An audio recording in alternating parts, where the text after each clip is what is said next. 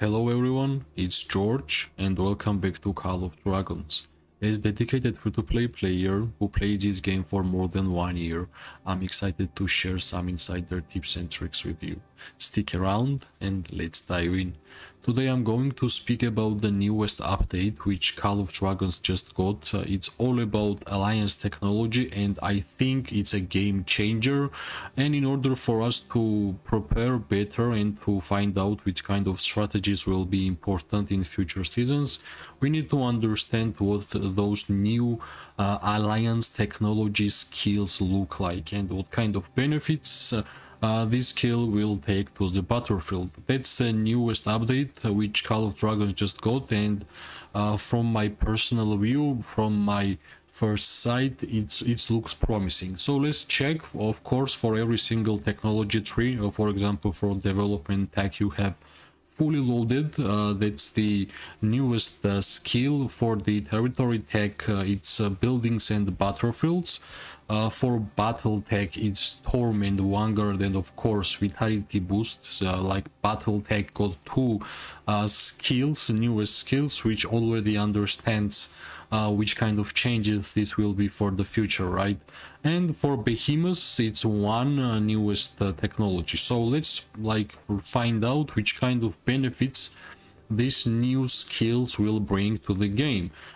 How in general it might change, I think it will change a lot. So fully loaded, that's the skill for the development technology. Uh, it's basically overall gathering speed, which will give you 15% more so basically after the addition of the seasonal talents whenever you can gather at your alliance ter territory without uh, any harm um, like safely uh, everything which gonna give you gathering speed it benefits you doesn't really matter if you are a free-to-play player or pay-to-win player. Because you will be even during the war uh, situations whenever like there is a war zone and the enemies might uh, kill your farms you already have a new talent uh, which uh, gives you defense against anything. Uh, you are immune to attack and also at that point well it's better to have faster gathering speed so you will get more resources throughout the seasons right?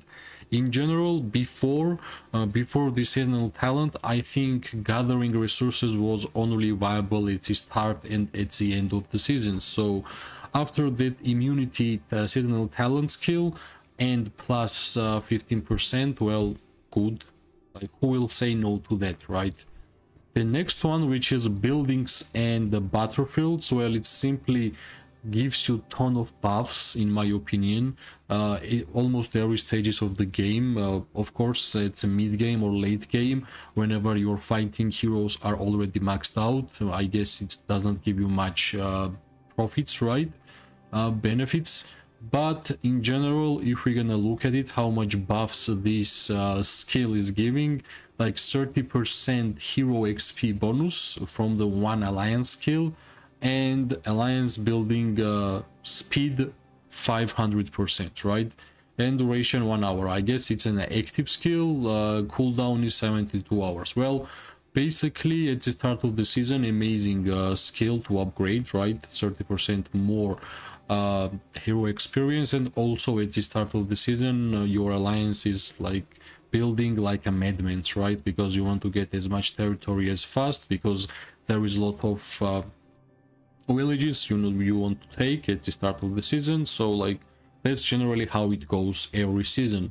Um, i like like this these both of them uh, like uh, fully loaded and butter buildings and battlefields are amazing like op Okay, let's go to the next one, which is Storm Vanguard. Um, increase Alliance members' Legion's attack and movement speed. Well, let's see how much, right?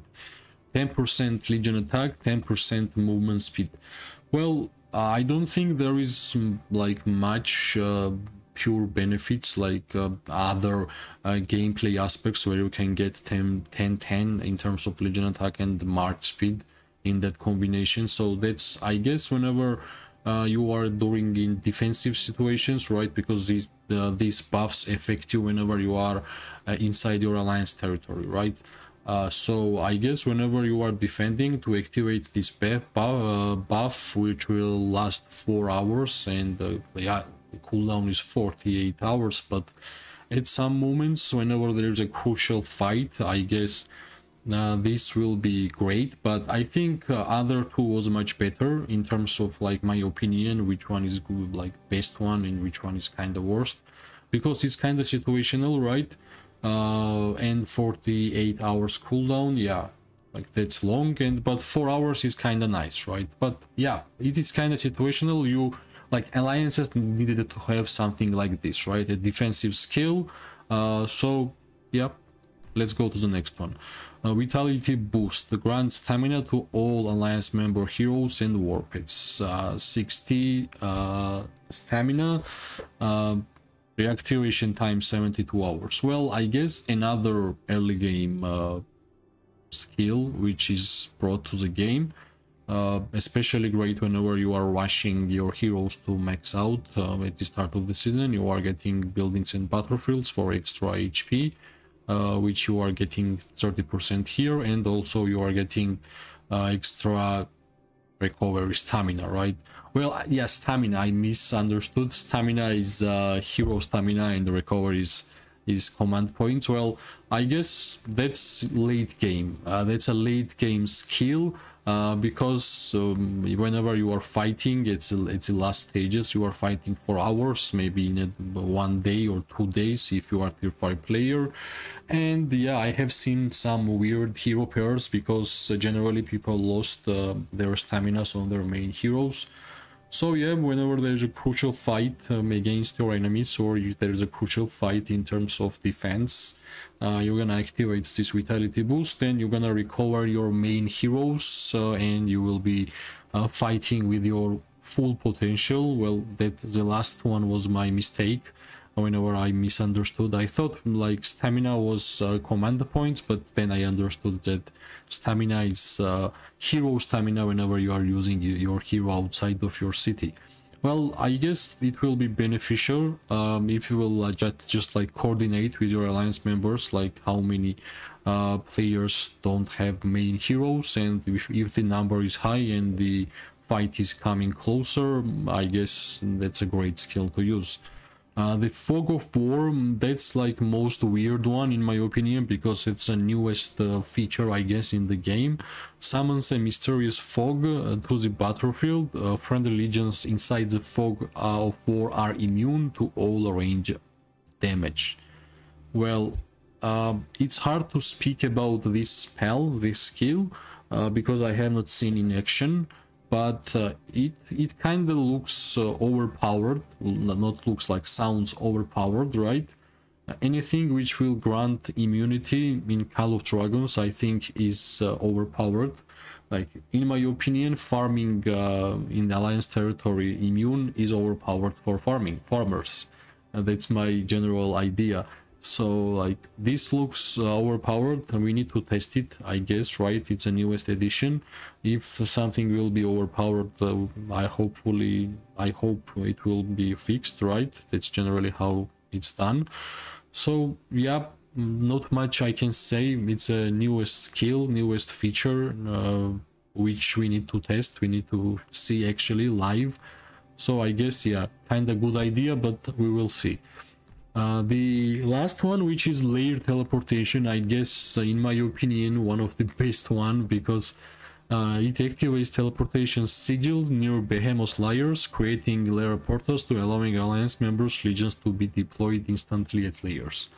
Well, uh, I will I will I will say why I think this one is best one because it saves a lot of gems for free-to-play players you want to teleport your town sometimes the newest edition or like oldest skill is to taxi your uh, alliance member who is going to teleport there. So like there was weird mechanics in terms of like uh, teleporting to zone 1 or going to zone 1 with one legion.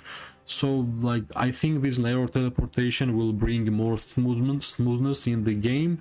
Uh, it will be more chill um, like no more like angry text in alliance chat like uh, how many teleportations do I need to have for a season so it will be enough. So like I guess it's good quality uh, upgrade uh, skill in the Call of Dragons in my opinion.